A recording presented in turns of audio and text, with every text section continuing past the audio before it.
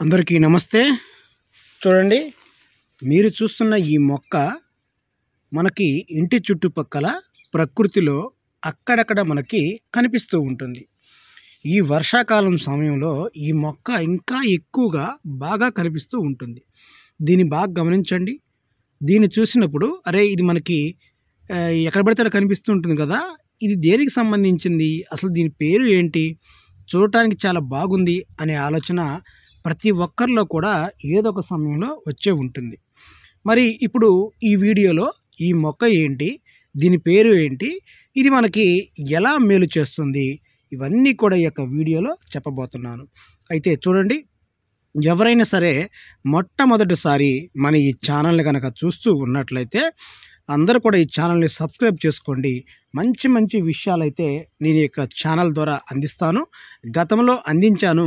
భవిష్యత్తులో కూడా మన ఇంటి చుట్టుపక్కల ఉన్న మొక్కలు అలాగే ప్రకృతిలో ఉన్న కొత్త కొత్త విషయాలు అలాగే అడవుల్లో ఉన్న రహస్యాలు ఇవన్నీ కూడా ఈ ఛానల్ ద్వారా మీకైతే నేను అందిస్తాను.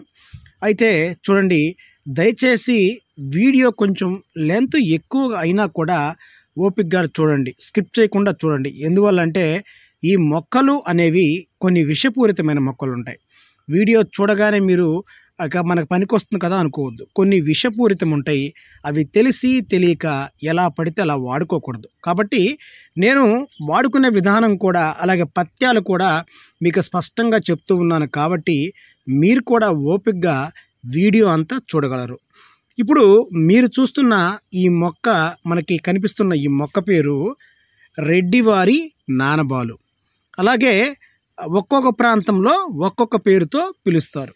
దీన్నే నాగార్జుని అని కూడా అంటారు. అంటే రెడ్డివారి నానుబాలు ఒకటి నాగార్జుని ఒకటి అలాగే పచ్చబొట్లాకు అని కూడా అంటారు. పచ్చబొట్లాకు.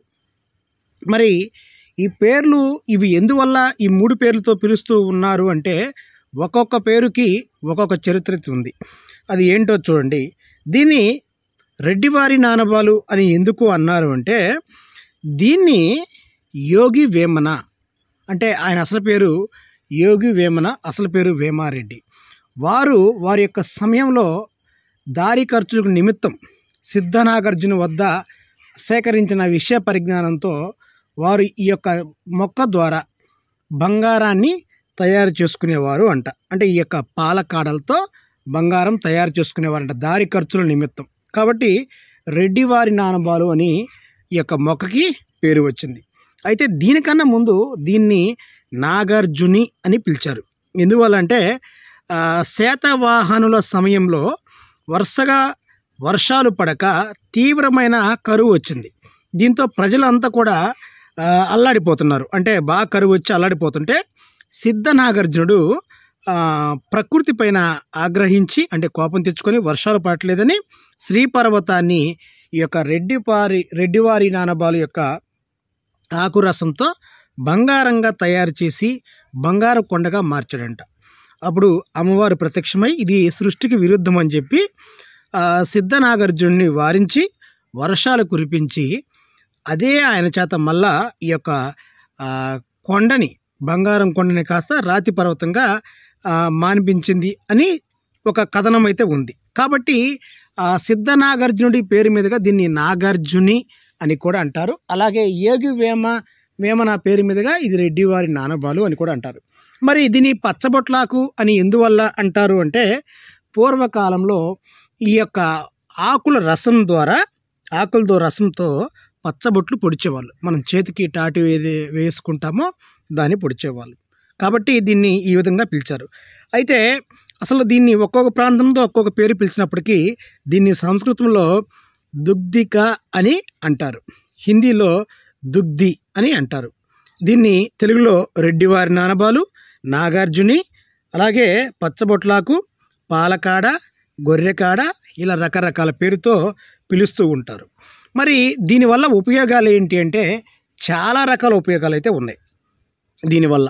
అసలు ఏంటో చూద్దామండి. అయితే ఇది ఎన్ని రకాల ఉపయోగాలకు ఉపయోగపడ్డా కూడా కంటి సమస్యలకి ఇది ఒక బ్రహ్మాస్త్రం. అంటే ఎలా అంటే కంటి సమస్యలతో ఎవరైనా సరే మస్కలు కానివ్వండి కంటి రోగాలు కానివ్వండి వాళ్ళు బాధపడుతున్న వారు ఈ ఆకును గిల్లగానే పాలు వస్తాయి చూడండి ఈ ఆకును మనం ఇలా కొంచెం గిల్లగానే ఇలా పాలు వస్తాయి చూడండి ఇలా పాలు వస్తాయి గిల్లగానే. మరి ఈ పాలని తీసుకొని కంటిలో పెట్టుకోవాలి. మరి చాలామంది కళ్ళకి ఏదైనా ప్రమాదమా ఈ పాలు అంటే కళ్ళకి ఈ పాలు చాలా మంచిది చల్లగా ఉంటాయి. ఈ పాలు ఈ పాలుని కళ్ళల్లో పెట్టుకోవాలి. వరుసగా ఒక వారం రోజుల పాటు పెట్టుకోవాలి. తర్వాత ఒక వారం ఆగి మళ్ళా తర్వాత నెక్స్ట్ వారం దీనైతే పెట్టుకోవాలి. కళ్ళల్లో పాలు మాత్రమే రెండు కళ్ళల్లో. ఇలా క్రమం క్రమంగా చేయటం ద్వారా కంటి మస్కలు కంటి పూలు కంటి పొరలు అన్నీ కూడా తొలగిపోతాయి. కంటికి సంబంధించిన ప్రతి సమస్య కూడా క్లియర్ అవుతుంది. ఇంకా కంటి నల్లగుడ్డు కొంతమందికి తెలుపుగా మారుతుందన్నమాట. ఇలాంటి వారు ప్రతిరోజు ఉదయం పూట ఈ యొక్క పాలని కంటిలో పెట్టుకోవాలన్నమాట. కంటిలో పెట్టుకొని ఈ ఆకుల్ని కొంచెం కూడా నమిలి తినాలి. ఆకుల్ని నమిలి కూడా తినొచ్చు. ఇలా తినడం ద్వారా మంచి పరిష్కారం అయితే ఉంటుంది. అంటే పాలు కంట్లో ఆకులు నమిలి మింగాలి. ఇది చాలా బ్రహ్మాండంగా పనిచేస్తుంది. మరి ఈ పాలు ఈ ఆకులు ఇంకా దేనికైనా పనికొస్తాయి అంటే బ్రహ్మాండంగా బాలింతలకి. బాలింతలు ఎవరైనా పాలు సరిగా లేక బాధపడుతున్న వాళ్ళు ఈ రెడ్డివారి నానబాల ఆకుని పప్పులో వేసి పప్పులో అంటే మనం గోంగూర ఎలా వేసుకుంటామో గోంగూర పప్పు తోటకూర పప్పు ఇలా చేసుకుంటామో చక్కగా వేసుకొని తినాలి. ఇలా తినడం ద్వారా కూడా మంచి ఫలితం అయితే ఉంటుంది. పాలు బాగా పడతాయి బాలింతలకి. ఇంకా ఇది మధుమేహం వ్యాధులకి ఎలా పనిచేస్తుందో చూడండి. మధుమేహం వ్యాధులకి ఇది చేయవలసింది ఏంటంటే ఈ మొక్కని సమూలం అంటే భూమిలో సహా తీసుకొచ్చేసి దీన్ని కడిగి ముక్కలు ముక్కలుగా చేసి నీళ్ళలో ఆరబెట్టి దంచి పొడి చేసి రెండు పూట్ల అంటే రెండు పూట్ల భోజనానికి అరగంట ముందు ఒక చెంచా పొడిని అర గ్లాసు గోరువెచ్చని వాటర్లో వేసుకొని త్రాగుతూ ఉన్నట్లయితే మధుమేహ వ్యాధులకు కూడా ఇది చాలా బాగా పనిచేస్తుంది. ఇంకా ఈ పొడి నరాల జబ్బులకు కూడా చాలా బ్రహ్మాండంగా పని పనిచేస్తుంది. అంటే నరాల బలహీనత ఏదైతే ఉందో వారికి కూడా బ్రహ్మాండంగా పనిచేస్తుంది. ఇంకా విరియం అనేది బాగా వృద్ధి అవుతుంది. ఈ ఈ పొడి తినడం ద్వారా విరియం కూడా చాలా మగాళ్ళకి వృద్ధి అవుతుంది. చాలా చాలా అద్భుతంగా పనిచేస్తుంది అనమాట మరి కంతులు అంటే కొంచెం శరీరం పైన ఎవరికైనా కంతులు ఉన్నట్లయితే ఇది ఈ కంతులు కూడా చాలా బ్రహ్మాండంగా పనిచేస్తుంది. అంటే ఎలా అంటే ఈ మొక్కని మనం గిల్లినప్పుడు పాలు వచ్చినాయి కదా ఈ పాలు కంతుల పైన వేసి రుద్దుతూ ఉన్నట్లయితే గట్టిగా రాయిలాగా ఉన్నది అనే కంతి కూడా క్రమం క్రమం క్రమంగా కరిగిపోతుంది అనమాట ఇది అంత గొప్పగా పనిచేస్తుంది కంతులకి. ఇక సంతానం లేని స్త్రీ పురుషులకు ఇది ఎలా పనిచేస్తుందో చూద్దామండి. రెడ్డివారి నానబాలు అంటే చక్కగా ఎక్కడ పడితే అక్కడ కాకుండా మంచి ప్లేస్లో ఉన్న చోట చూసుకోవాలి. తీసుకొని దీన్ని మొక్కరి సమూలం తీసి పొడి చేసుకోవాలి. పొడి చేసుకున్న తర్వాత దీన్ని ఆ పొడిలో కొంచెం పంచదార కలిపి దాన్ని మనం స్టోర్ చేసుకోవాలి. లేదంటే పటికి బెల్లం ఇవన్నీ కూడా పటికి బెల్లం కానీ తాటి బెల్లం కానీ పంచదార కానీ ఇవన్నీ. తర్వాత రెండు పూట్ల రోజుకి భార్యాభర్తలు ఇద్దరు కూడా ఒక స్పూన్ మోతాదుగా తీసుకొని ఒక గ్లాస్ ఆవు పాలలో ఇద్దరు చెరొక స్పూన్ తీసుకొని నలభై రోజుల పాటు వీరు బ్రహ్మచర్యం పాటించాలి. అంటే ఇది తీసుకున్న తర్వాత తర్వాత నలభై రోజుల తర్వాత వీళ్ళకి దీని కనుక చక్కగా ఇద్దరు తీసుకొని నలభై రోజుల తర్వాత వారు కలిసి ఉన్నట్లయితే చాలా మంచి ఫలితం అనేది ఉంటుంది. సంతానం విషయంలో ఎలాంటి ఇబ్బందులు ఉన్నా కూడా అవన్నీ తొలగిపోతాయి అన్నమాట అయితే ఇది చేయటం వల్ల స్త్రీలలో బహిష్టు ఏదైతే ఉందో అది కూడా సక్రమంగా వస్తుంది. సక్రమంగా సమయం ప్రకారంగా వస్తుందన్నమాట. ఎక్కువ తక్కువగా లేకుండా. అలాగే పురుషుల్లో దీని ఇది తీసుకోవటం వల్ల ఏం ఉపయోగం అంటే వారికి వీర్యకణాల శక్తి అనేది పెరుగుతుందన్నమాట పురుషుల్లో. అంటే వీర్యకణాల శక్తిని కూడా పెంచే శక్తి ఈ రెడ్డివారి నానబాలు మొక్కలో అయితే ఉంది. అయితే ఇది తీసుకునేటప్పుడు స్త్రీ పురుషులు ఈ పథ్యం నలభై రోజుల పాటు ఎలా తీసుకున్నారో ఈ సమయంలో వీళ్ళు చేయవలసింది ఏంటంటే కారం ఉప్పు బాగా తగ్గించాలి పులుపులు పూర్తిగా మానివేయాలి.